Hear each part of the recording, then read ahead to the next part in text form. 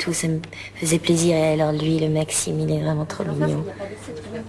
J'adore cet homme-là, il est tellement, il est tellement vrai et tellement, euh, tellement gentil.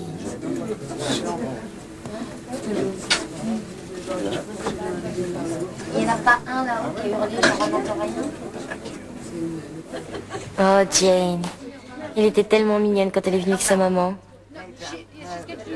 Qu'elle est belle, elle est magnifique cette femme-là, elle est trop belle. Ça va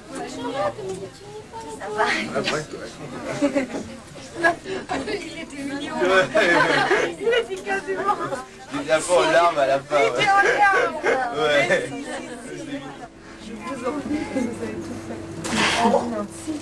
T'as tellement de choses en tête quand tu sors d'un concert que, que sous l'émotion, il y a des choses que tu dis et, et bon, peut-être qu'avec le recul après, euh, c'est peut-être pas autant, tu vois. Françoise, elle m'a dit, tu sais tout faire, c'est pas vrai, je sais pas tout faire.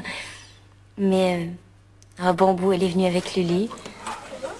J'ai adoré que les, amours de la vie de Gainsbourg soient venus me voir. J'ai adoré. Ah, le Jean-Paul. Voilà, c'est ça qui m'énerve avec lui, c'est qu'il ose pas m'embrasser. J'ai toujours des rapports privilégiés et assez complices avec les gens avec qui je travaille, et lui, il est tout timide et il est, euh, il est plus timide que moi à la limite. Monsieur Good, bel homme. Moi, j'ai dit bel homme. Alors lui, c'est euh, le professeur Sherman, c'est un des découvreurs du virus. Je vais vous dire une chose.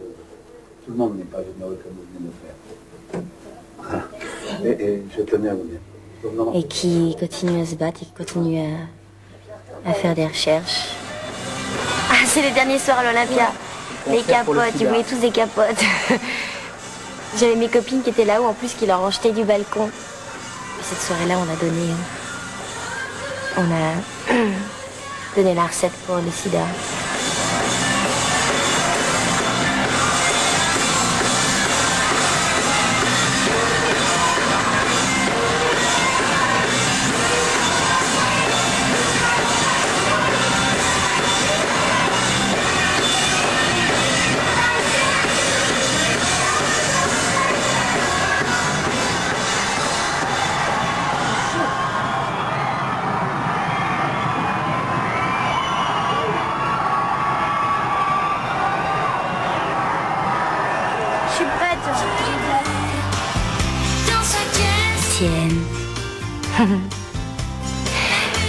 maman, maman était avec Étienne sur le côté de la scène et puis tout d'un coup je, je chantais Joe le taxi et elle lui a dit tu veux venir, tu veux venir voir de près? Elle lui a dit oui, il était comme un petit garçon, elle l'a emmené tout près de la scène et à ce moment-là je l'ai vu, je voulais lui faire, je voulais monter sur la scène avec moi et, et il a eu peur, il était trop mignon. Et il m'a regardé, il m'a fait non, non, non, non. Non, j'ai chanté un petit peu la chanson pour lui, il était content. Étienne, il était là tous les soirs. Tous les soirs à l'Olympia, il était là, il est venu. Tous les soirs, il venait euh, cinq minutes avant le spectacle et il venait me dire bisous, me faire un bisou, il venait me dire merde, d'aller voir le show et après il revenait me dire au revoir. Et tous les soirs, il venait.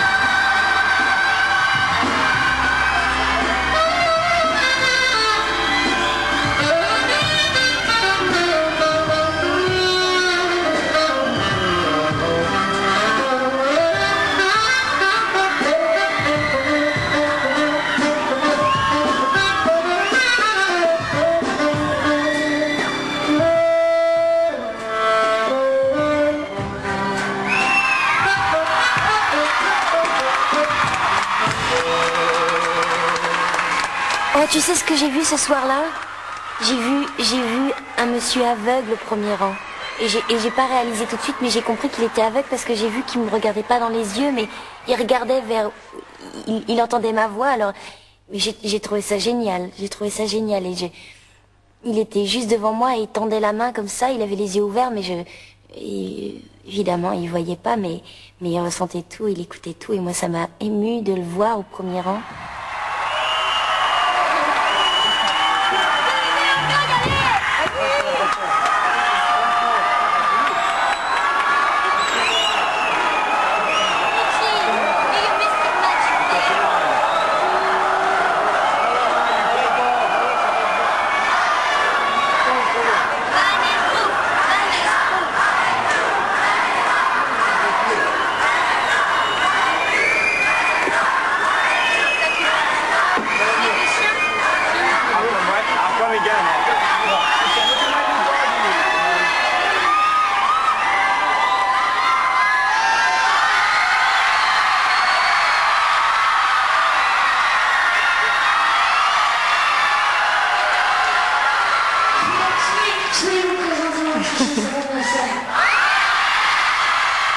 Richie.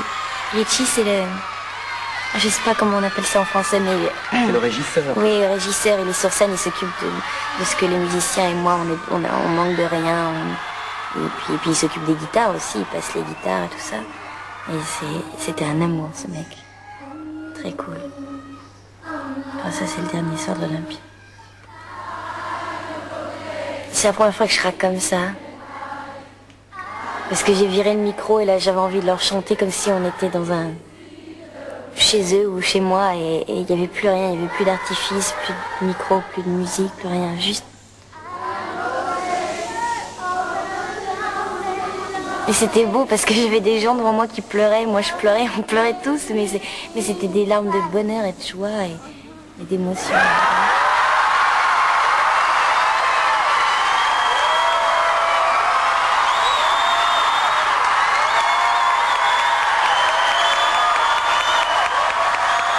Ils m'ont donné tellement, tu sais.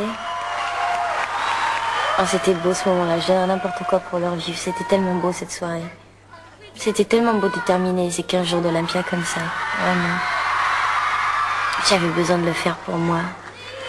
Là, je lâchais tout, je donnais tout. Je, je, je m'en foutais à la limite. Je serais rentrée sur scène euh, en jogging et pas maquillée, rien du tout, tu vois. C'est pour ça que j'ai viré le micro. Je- J'avais besoin qu'il n'y ait plus rien, qu'il n'y ait plus que la vérité, qu'il n'y ait plus de filtre.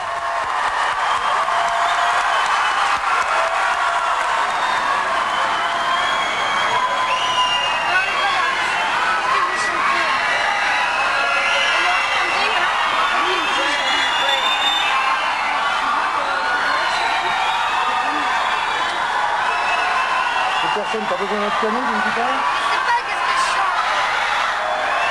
Euh, trompe alors, si tu veux chanter...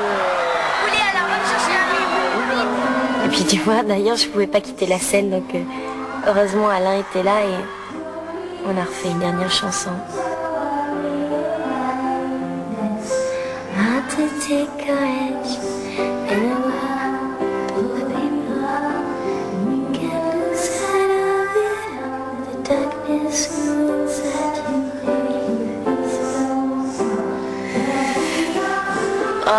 c'était bien, bordel de merde.